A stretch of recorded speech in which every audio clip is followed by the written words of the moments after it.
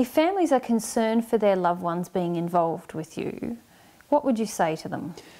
My suggestion to those families would be to come along to a seminar or two at least and examine what actually does happen at the seminars. You don't have to come along to listen to the information.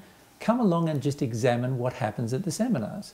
Come along and uh, look at the, you know, spend some time with your friend or your family member and spend some time not in concern for them, not trying to push them into doing something you want them to do, but spend some time in their life and just see how they live their life. You will see that the majority of the people you're concerned of have no day to day interaction with me at all. The reason why this is the case is that Mary and I spend most of our time sharing information in public, either in interview situation or in a seminar situation or in groups and we spend very little of our time with individuals because we have very little time left over from spending our time in public to share time with individuals.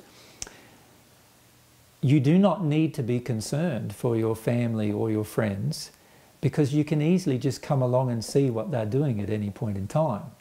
And you would see that what they're doing is very, very innocent in the sense that it's all about developing in love, truth, and humility. Now, if your family member is emotional, well, what do you expect? They're growing. They're going to be emotional through the process of growth. They are, I'm encouraging people to become like a child with the expression of their emotion. In other words, to honour their emotion at every point in time in their experience. If you're confronted by that, then my suggestion is to look at why you're confronted by that because there's no need to control a person with their emotion. Why do you want to control their emotion? Why do you believe their emotion should be controlled? These are all things I believe a family member needs to look at. So my suggestion is come along to a few seminars. You'll see how innocent everything is run, how, how very open and straightforward they are. If you examine the 700 hours of YouTube seminars, you'll see that every one of them is run pretty much the same way. There's no editing. Everything you see is exactly what you get. There is no subterfuge, there is no deceit, there is nothing to be concerned about.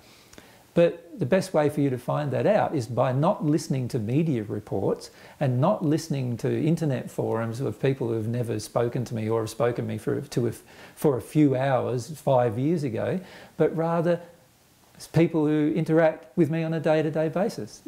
And you can be one of those people who interact with me on a day to day basis and find out whether there is any problems with me. And, and I'm pretty sure, as I am pretty sure with most people who meet me, they feel like there is no problem.